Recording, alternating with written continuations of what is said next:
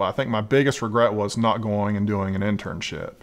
You know, there's when when you get to the end of your college career and you're looking for jobs, you know, everything says entry level, but entry level is three to five years experience. So if you don't at least have an internship on your resume, it, people kind of frown upon it.